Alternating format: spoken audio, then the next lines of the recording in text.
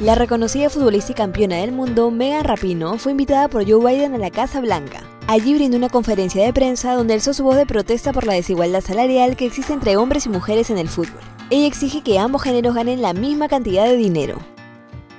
I'm a member of the LGBTQ community with pink hair, and where I come from, I could have only dreamed that I would be standing in the position I am today at the White House.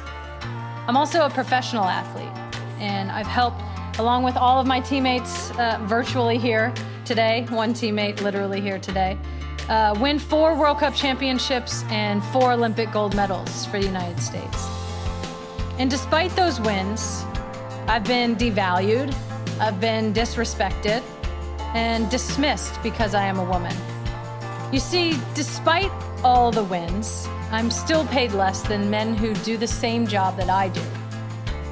For each trophy, of which there are many, and for each win, for each tie, and for each time that we play, it's less.